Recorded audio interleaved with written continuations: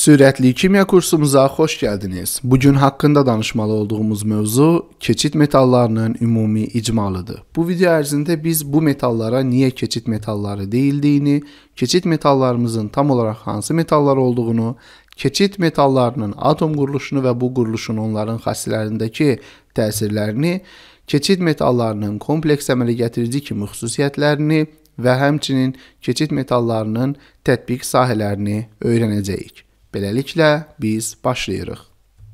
Hər zaman olduğu kimi qeyd eləməliyik ki, saytımız artıq hazırdır.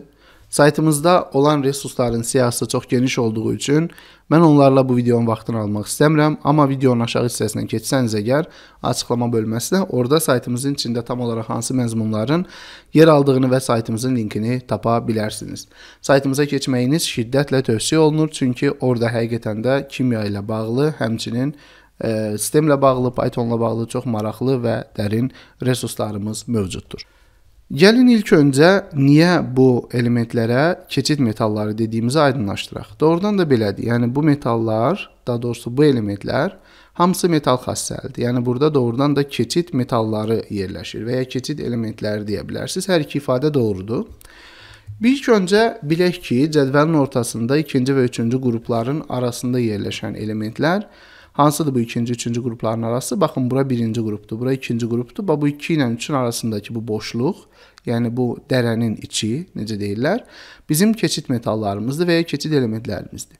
Bu uzun dövrlü dövri sistem cədvəlində belə görünür və bunları burada bilmək, təyin etmək daha rahatdır. Amma bizim klassik dövri sistem cədvəlimizdə onlar bir qədər cədvəlin içində olduqları üçün Onları təyin etmək çətindir. Amma cədvəldəki rənglərə görə və ya bu kənara çıxmalara görə onları da çox rahat müəyyən edə bilirsiniz. Yəni ilk öncə bilin ki, keçid elementləri bizim klassik e, dövri sistem cədvəlində, yəni Mendeleyev üslubunda verilirlər göy rənglə. Bax burada veriliblər və onlar dövri sistem cədvəlindəki e, çıxıntıların səbəbkarlarıdır. Yəni bu qıraqdakı çıxıntılar ki var, cədvəlin formasını dəyişən çıxıntılar, onları yaradan məhz bu keçid elementləri və ya keçid metallarıdır.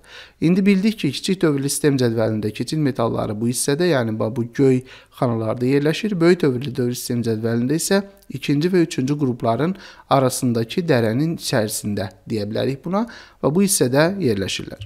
Və əsas sualın cavabına gəlin verək. Niyə bunlara biz keçid elementləri deyirik? Keçid termini hardan gəlir?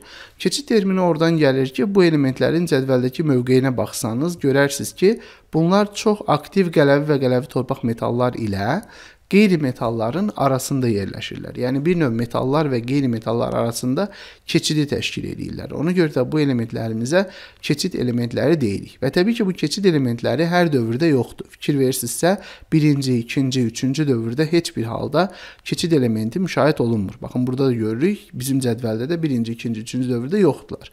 Bunlar başlayırlar 4-cü dövrdən və yenə də dediyimiz kimi ilk öncə aktiv metallardan sonra başlayırlar və bunlar bitəndən sonra artıq yavaş-yavaş qeyri-metallıq xüsusiyyətləri özünü göstərməyə başlayır.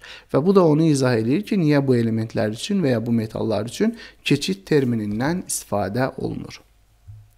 Bu slaydımızda isə keçid metallarının tam olaraq hansı metallar olduğunu və onların xassələrindəki bəzi qanun uyğunluqları araşdırmağa çalışmışıq. İlk öncə bu sırada gördüyünüz metallarımız hamısı keçid metallarıdır. Yəni o cədvəldə gördüyünüz hissədə baxın bu elementlər yerləşir. Əzbərləməyə ehtiyac varmı? Bunu yox. Bunu əzbərləməyə ehtiyac yoxdur, amma əgər həqiqətən də bir şey əzbərləmək istəyirsinizsə, aşağıdakı sıranı əzbərləyin. Bu sıra nədir? Bu sıra keçid elementlərinin, yəni həmin o D elementlərinin öz aralarında kimyəvi aktivliyinin artması sırasıdır. Yəni bu sırada qızılla başlayır və gedir bitir skandiyumda. Yəni skandiyum bu e, keçid elementləri içərisində ən böyük kimyəvi aktivliyə sahib olandır. Burada şəxsən məni təəccübləndirən titanın mövqeyi oldu. Baxın, titan burada skandiyumun həmin arxasında yerləşir və demək olar ki, aktivliyinə görə D elementləri arasında ikinci yerdədir.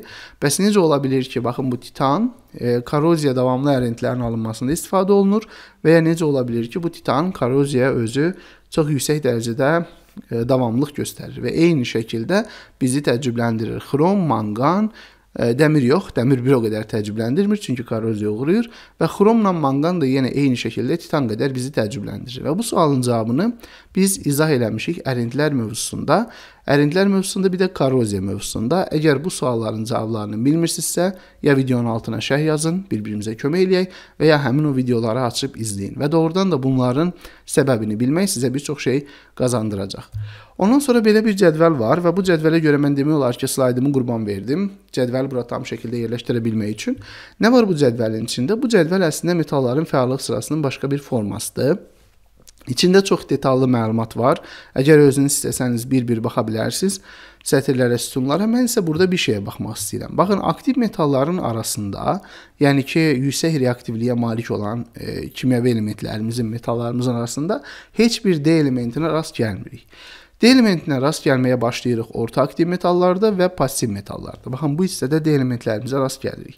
Deməli, bu da bizə onu deməyə əsas verir ki, D elementlərimiz heç də yüksək kimyəvi aktivliyə malik olan elementlər deyillər. Düzdür, onlar gələn metallardan dərhal sonra yerləşsələr də, kimyəvi xassəsə baxımından o qədər də ifrat fəallıq və ya ifrat aktivlik göstərən elementlər deyillər. Qələvi metal dediyim qələvi torpaq metallardan sonra yerləşdikləri üçün, yəni ikinci qrupdan sonra yerləşdikləri üçün bu cür təcrübli bir vəziyyət ortaya çıxır.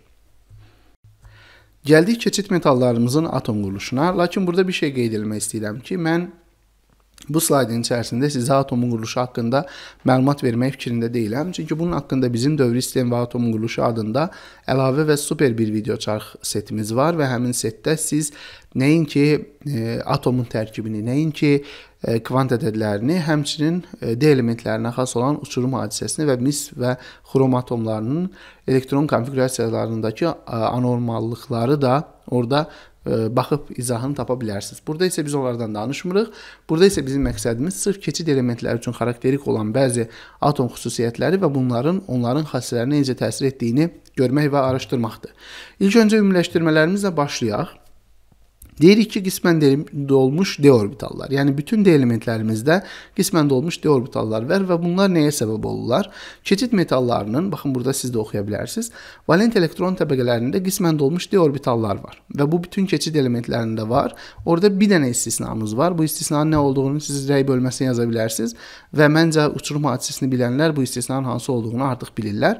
Bu onlara rəngli birləşmələr əmələ gətirmək və pigment paramaqnetizm kimi unikal kimyəvi və fiziki xassələr verir və doğrudan da D elementləri üçün səciyyəvi olan əsas xüsusiyyət onların rəngli birləşmə əmələ gətirmələri və onların paramaqnit xüsusiyyətə sahib olmalarıdır. Yəni maqnit tərəfindən cəlb olunan elementlərimiz D elementləridir. Yəni demirəm bütün D elementləri maqnit tərəfindən cəlb olunur. Xeyr, sadəcə cümləmi düzgün qurum. Deyirik ki, maqnit tərəfindən cəlb olunan elementlərimiz D elementləridir. Yəni cümləni düzgün ifadə edə bilək. Yüksək ərimə və qaynama nöqtələri qeyd eləyək ki, keçid metalları qismən dolmuş d orbitallarının üst-üstə düşməsi nəticəsində yaranan güclü metal rabitəsi səbəbindən yüksək ərimə və qaynama nöqtələrinə malik olur. Biz nə demişdik? Demişdik ki, metal rabitəsində elektron kolxozunun nə qədər böyük olması, yəni elektron kollektivinin və kolxoz ifadəsi burada istifadə olunur, e, nə qədər geniş olması rabitənin möhkəmliyinə bir o qədər müsbət təsir eləyir. Yəni sizin e, elektron kolxozu yaratmağa hər atomunuzun 2 elektronu varsa, təbii ki, bunun yaratdığı metal rabitəsi rabitəyə 6 elektron sərf edən bir atomun yaratdığı rabitədən daha zəif olacaq. Yəni bunu hamımız bilirik. D elementlərdə də ümumi rabitə üçün daha çox elektron sərf olunduğu üçün bunların həm ərimə nöqtələri, həm də qaynama nöqtələri daha yüksək olur. Yəni digər elementlərlə müqayisədə. Və bu həm də möhkəmliyə təsir eləyir, bunu da deyək. Ondan sonra deyirik ki, dəyişən oksidaşma dərəcəsi. Deyirik keçid metalları çoxlu oksidaşma dərəcələri nümayiş etdirə bilirlər. Çoxlu deyəndə yəni məhdud sayda, amma xeylidirlər və bu da onların geniş spektrli birləşmələr yaratmağa və müxtəlif kimyəvi reaksiyalarda iştirak etmələrinə imkan verir və ona görə də bunların kimyası rəngarəngdir. Yəni ki, qeyri-üzvi kimyada və xüsusilə də elementlər kimyasında ən böyük payı bunların birləşmələri tutur. Yəni bunlar xeyli birləşmə əmələ gətirmək xüsusiyyətinə malikdirlər. Hətta mən sizə daha maraqlı bir şey deyim. Kompleks birləşmələr adında bir bölmə var ə, kimyada. Bu bölmə sırf demək olar ki, bunların birləşmələrinin ə, öyrənilməsinə həsr olunub. Yəni kompleks birləşmələr kimyası əsasən bu keçid elementlərinin əmələ gətirdiyi mürəkkəb ə, qeyri üzvi birləşmələrin öyrənilməsinə həsr olunur. Yəni bütün bir bölmə bunlara ayrılıb və nədir bu kompleks ionların əmələ gətirməsi qabiliyyəti? Deyirik ki, keçid elementlərinin və ya metallarının hər iki ifadə doğrudur. İonları bölünməmiş elektron cütünə sahib liqandlarla mürəkkəb ionlar yaratma qabiliyyəti fəaliyyətinə malikdir. Cümlə biraz qəliz ola bilər. Söhbət kompleks birləşmənin əmələ gəlməsindən gedir. Kompleks birləşmələr haqqında əlavə video çarxımızı izləməmisinizsə, böyük ehtimal ki, problem oradan qaynaqlanır. Bu xüsusiyyət kompleks birləşmələrin əmələ gəlməsini izah edir və onlara da bioloji ə, proseslərdə həlledici rol oynayır. Yəni bir çox bioloji proseslərdə biz kompleks birləşmələri görürük. Məsəl üçün qandakı hemoqlobini görürük və ya ə, ə, şeydəki ə, xlorofilin tərkibindəki maqnezium əsaslı kompleks birləşmələri görürük və bir çox ə, fermentlərin, maqnezium təbii ki, D elementlərindən deyil, bunu mən də gördüm, sadəcə misal olaraq göstərdik. Bir çox ə, D elementlərinin, misal üçün ə, rəngsiz qan və ya yaşıl qan dediyimiz sianoqlobinin e, deməli mis əsaslı qanın tərkibində də yenə biz D elementlərini görürük. Yəni belə baxdığımız zaman bir çox bioloji fəal maddələrin mərkəzi hissəsində, yəni zalın 4-cü quruluşundan sonra yaranan formada biz D elementlərinin varlığını müşahidə edirik və bu da doğrudan da D elementlərinin həyat üçün əhəmiyyətli olduğunu bir daha bizim gözlərimizin önünə gətirir. Və katalitik fəaliyyəti bir çox keçid elementləri və onların birləşmələri katalitik aktivlik nümayiş etdirir və onlar müxtəlif sənaye proseslərində istifadə olunur.